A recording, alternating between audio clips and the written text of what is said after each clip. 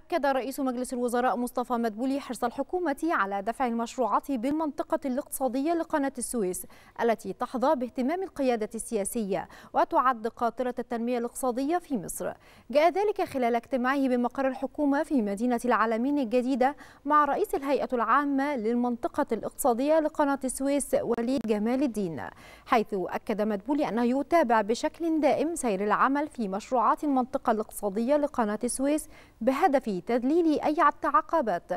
ومن جانبه أكد رئيس الهيئة العامة للمنطقة الاقتصادية لقناة السويس أن الهيئة ماضية في تنفيذ استراتيجيتها للأعوام من 2020 إلى 2025 لافتا إلى استمرار التعاون والتنسيق الدائم مع جميع الجهات بالدولة وشركاء التنمية لاستقطاب المزيد من الاستثمارات.